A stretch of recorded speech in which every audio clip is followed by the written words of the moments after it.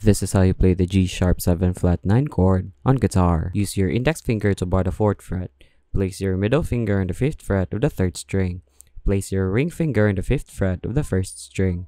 Place your pinky finger on the 6th fret of the 5th string. Strum all strings.